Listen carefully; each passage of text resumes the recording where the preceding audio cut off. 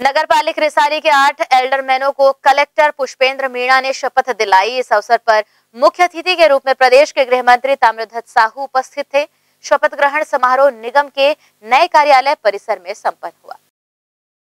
नगर पालिक निगम रिसाली के आठ एल्डरमैनों को कलेक्टर पुष्पेंद्र मीणा ने पद और गोपनीयता की शपथ दिलाई।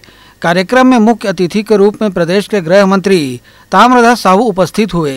कार्यक्रम की शुरुआत राजगीत के साथ हुई। कलेक्टर पुष्पेंद्र मीणा ने चार चार के ग्रुप में एल्डरमैनों को शपथ दिलाई। एल्डरमैन संगीता सिंह, तरुण कुमार, मोहम्मद निज़ाम, संध्या वर्मा, संतु दास, शिशिर कुमार, अजीत कुमार यादव, जी राहुल को कलेक्टर ने पद और गोपनीयता की शपथ दिलाई। कार्यक्रम समापन के पूर्व कलेक्टर पुष्पेंद्र मीणा ने गृह मंत्री ताम्रध्वज साहू को राष्ट्रीय ध्वज भेंट किया। शपथ ग्रहण पश्चात महापौर शशि सिन्हा व सभापति केशव बंछोर ने एल्डर मैनों का पुष्प गुच्छ देकर स्वागत किया।